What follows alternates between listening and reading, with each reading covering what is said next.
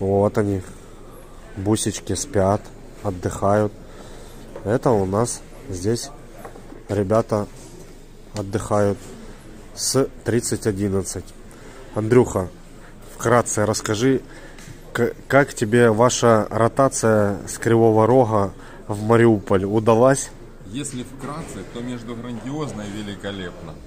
Между грандиозно и великолепно.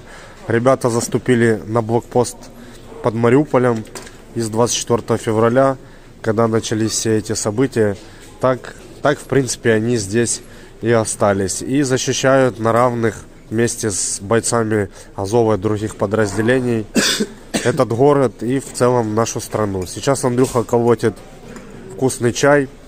Кстати, стоит отметить, что воду набираем мы с труб техническую, питьевой воды у нас нет, но кипяченая техническая вода тоже вода, Ничем не хуже. ничем не хуже. В общем, Андрюхе и пацанам с 3011 огромный респект и привет домой в Кривой Рог. Обязательно. Кривой Рог, держись, Мариуполь не даст в обиду Кривой Рог. Ставьте лайки, подписывайтесь на наш канал.